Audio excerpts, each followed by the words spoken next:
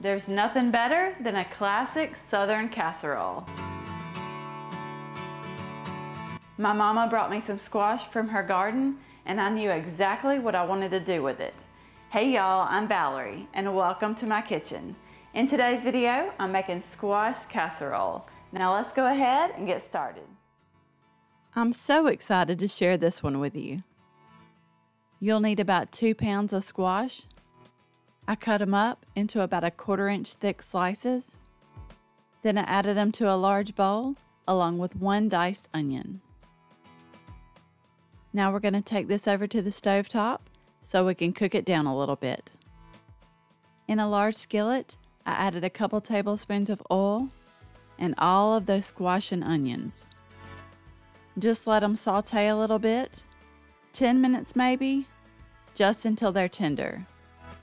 And by the way, if you're enjoying this video, I would really appreciate it if you would give me a thumbs up and hit that subscribe button.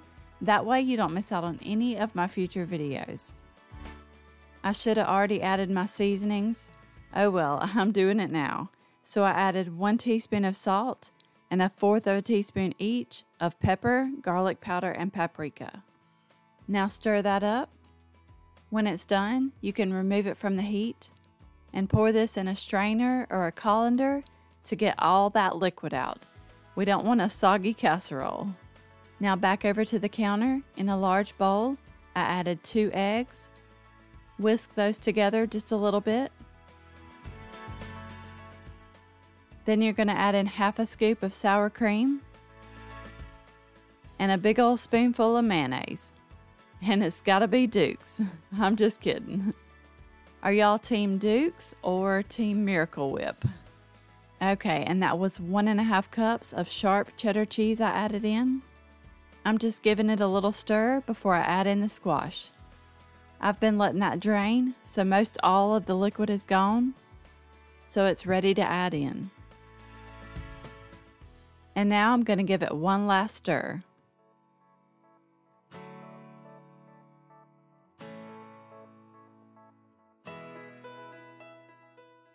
I'm using a 9 by 13 inch baking dish for this casserole.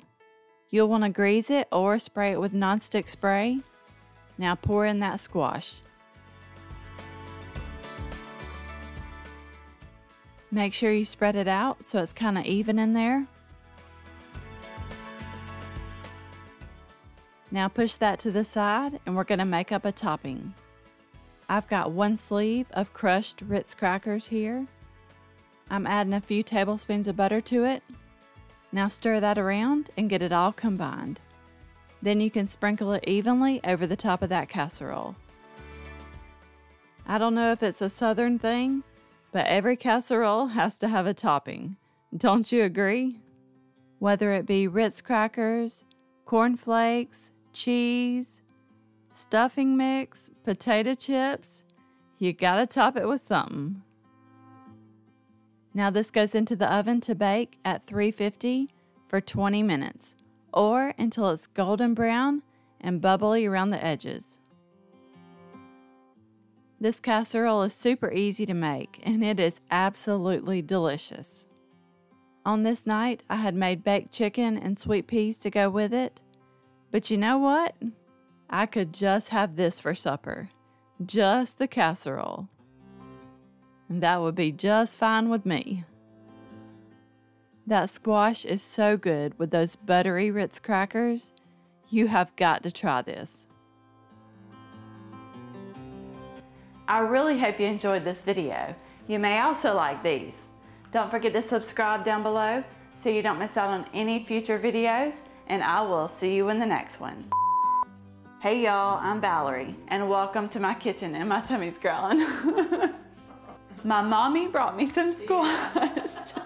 my mother brought me some squash from her garden. do I need to redo that? No. And let me do that one more time. No, no, don't do it over. Don't do it over. Is it a classic or old fashioned? And I just seen a beetle didn't leave that in. fly. One more time. Just one more time. Don't know why. My mama said my hair is approval now. oh, there goes the beetle. Did you see it? Say, I'm not gonna laugh at my mommy. I'm not gonna laugh at my mommy. I see you.